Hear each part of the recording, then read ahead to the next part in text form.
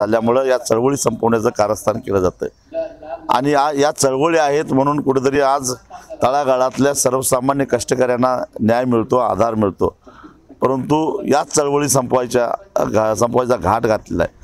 सामान्यांना आधारवाडा असणाऱ्या ज्या सरकारी कंपन्या आहेत त्या एकापाठोपाठ एक विकण्याचा सपाटा मोदी सरकारनं सुरू केलेला आहे. नुकतेच एअर इंडिया विकलेली आहे.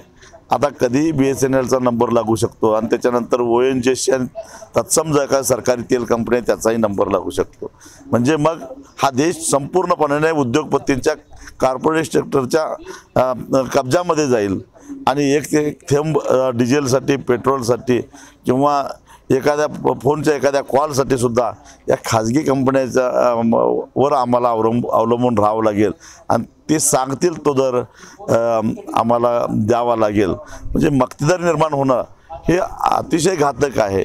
खुल्या व्यवस्थेमध्ये सुद्धा मक्तेदारीला भाव नाही. पण ही खुली व्यवस्था मक्तेदारीला चालना देणारी अशा प्रकारची मक्तेदारी व्यवस्था आहे. आणि ह्या व्यवस्थेला विरोध करण्याचं सामर्थ्य फक्त आणि फक्त चळवळीमध्ये आहे. आणि म्हणून आपापसामधले काही इजम असतील काही मतभेद असतील तर विसरूया आणि देशभरातल्या सगळ्या चळवळी एकत्र करूया. एक रकमी एफ आर पी हा आमचा अधिकार आहे. ऊस दर नियंत्रण अध्यादेश एकोणीसशे सहासष्टनुसार शेतकऱ्याला दिलेलं ते संरक्षण आहे.